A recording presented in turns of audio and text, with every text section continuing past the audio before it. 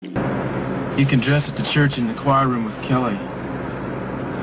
You should see your dad. He, he's so excited. He's running around like a little kid, checking things over and over again.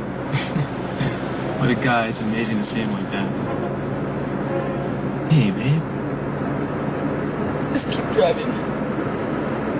Come here. No, just leave me alone. What happened? Nothing. You don't have to tell me, but I hope you know you can. I won't go any further. I Just don't understand people sometimes, Cruz.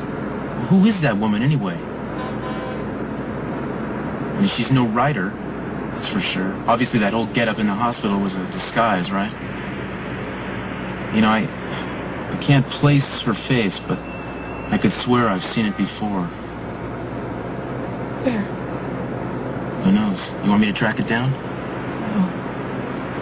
No, um, she's gonna be leaving Santa Barbara anyway. Uh, she won't be any bother to the rest of us. So you do know who she is? That's someone from my past. Something bad happened between you two? Would you be honest with me about something? Of course.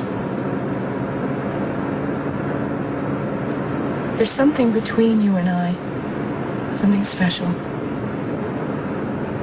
But if, if that wasn't there, would you think that I was a bad person, really? No.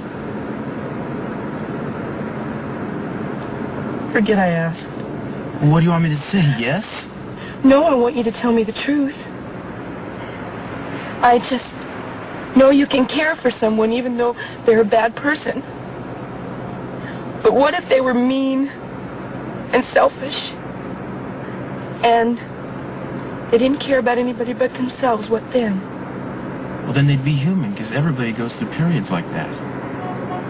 For years and years. If They've turned away from all the people that are supposed to love them? You have never done that, Eden. Maybe I have. I've done whatever I wanted to do. I've never had to speak to anyone else.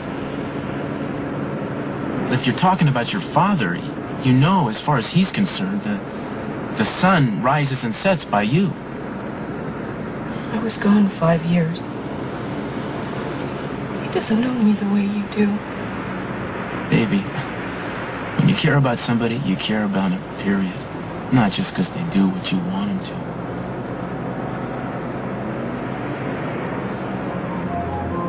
Would you hold me now? Oh, yeah, come here.